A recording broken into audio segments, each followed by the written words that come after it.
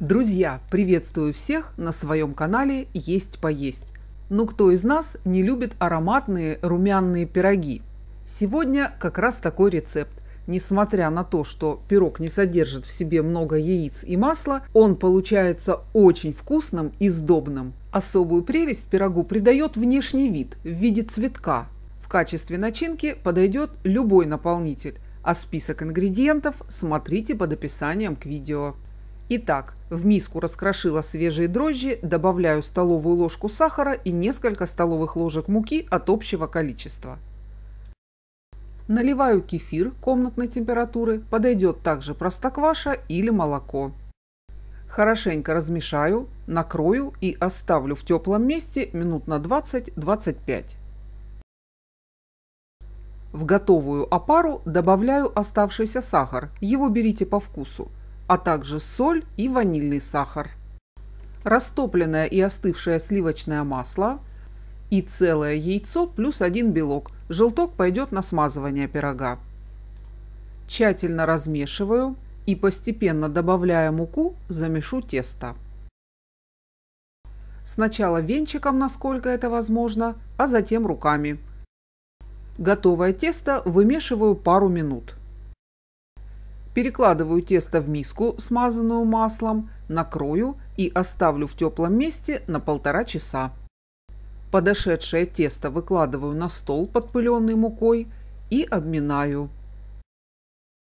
Затем разделю на две равные части. Лучше это сделать при помощи весов.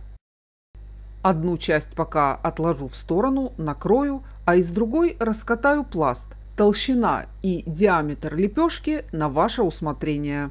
Я делаю толщиной примерно 8-10 мм. При помощи скалки перенесу на антипригарный коврик, на котором буду формировать пирог. Беру обычное блюдце, кладу на тесто посередине и совсем слегка придавливаю. Мне нужен просто контур.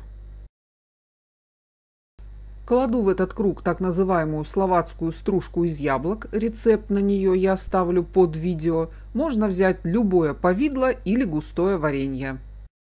Распределяю ее немного не доходя до контура, таким образом, чтобы получился небольшой холмик. Таким же образом раскатываю вторую лепешку и при помощи скалки переношу ее на заготовку. Аккуратно расправляю тесто. Участок с начинкой накрываю блюдцем и слегка еще раз прижму. Для надежности можно еще прижать пальцем, чтобы части между собой хорошо соединились и начинка не вытекла. Режу круг следующим образом. Сначала на 4 части, затем каждую часть еще пополам и после этого Получившиеся части еще пополам. До серединки стараюсь не дорезать. Беру по две полосочки и выкручиваю их на внешнюю сторону. Два раза, можно три. Концы слепляю. И таким образом формирую остальные лепестки.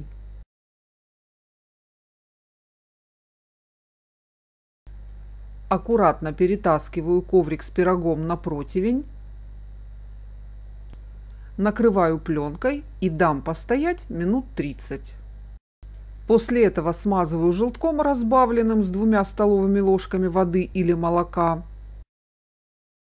Центральную часть пирога посыпаю маком, можно взять чищенные семечки или черный кунжут.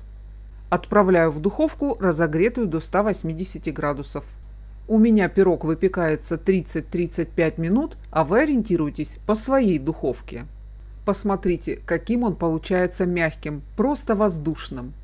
Даю немного остыть. Пирог можно нарезать ножом, а можно поступать так же, как с отрывным пирогом. Посмотрите, какой нежный. Эти лепестки получаются как булочки. Они такие слоистые и мягкие-мягкие. Ну а серединка получается как обычный пирог с начинкой. Помимо всего прочего, преимуществом этого пирога является интересный внешний вид. Он точно украсит собой любое чаепитие. Если вам понравился рецепт, не забудьте поставить лайк и обязательно напишите комментарий. И, кстати, на моем канале уже есть пирог в виде цветка.